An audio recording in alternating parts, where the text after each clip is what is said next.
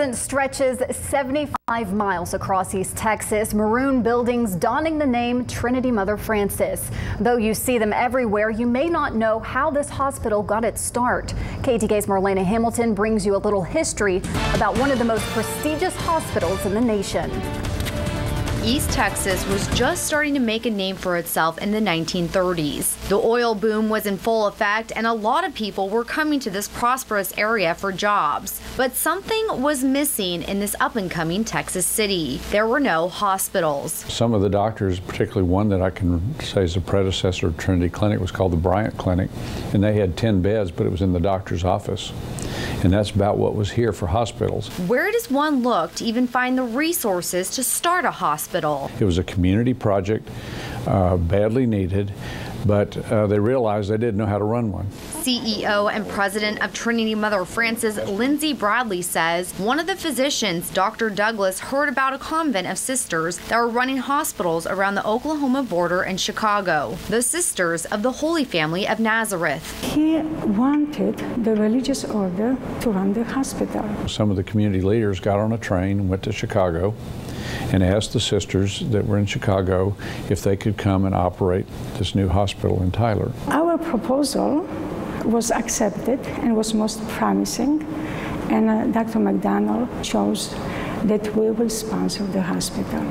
16 sisters who were of Polish descent, including Blessed Mother Frances Siedliska, came to Tyler and helped Dr. McDonald and 19 other physicians open Mother Frances Hospital. The hospital, named after Mother Frances Siedliska, was set to open on March 19, 1937, a five story hospital with 60 beds. But the day before, a tragedy struck that would shake the area for decades. All the dignitaries were going to come and there were going to be the ribbon cutting and the celebrations. But tragically, on that day, before, on Friday, the school in New London had a, a, very tragic explosion that killed hundreds of children and injured many, many people. The hospital was given a baptism of blood the day of its opening. It was dedicated to the blood of those kids from New London. Instead of an opening of cheers, treats, and celebrations, was welcomed by a horrific bloody explosion. The very next day, Bishop Joseph Lynch of Dallas did a simple dedication to the opening of the hospital.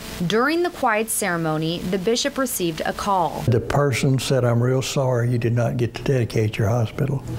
The bishop's reply was, Oh, yes, we did. We dedicated in the blood of those kids from New London. In appreciation for the hospital's service to the victims, the New London Museum dedicated a section just for Mother Frances Hospital. You don't talk about one without talking about the other. But this isn't the only tragedy the Sisters of the Holy Family of Nazareth had to cope with. During the Second World War, a group of sisters in Poland was executed. Part of the same convent of the sisters who started Mother Frances were murdered by Nazis. July 1943, in a small Polish town, the Nazis made a mass arrest of 120 Polish men. The wives and sisters of these men went to Sister Mary Stella and 10 other sisters to ask for their prayers and support. But then they decided to make the ultimate sacrifice. Oh God, if sacrifice of life is needed. Take it, our life, and spare the people who are incarcerated and waiting to be executed. On August 1st, 1943, the sisters were executed by the Nazis for the lives of 120 fathers, sons, and brothers. In 2000, Pope John Paul II canonized them as saints. Back in the United States, Mother Frances Hospital was prospering, and 77 years later, the Sisters of the Holy Family of Nazareth are still very much involved. When I came to interview in 1981, Mr. Weisenbaker looked at me and he said, I want you to understand why this place is special.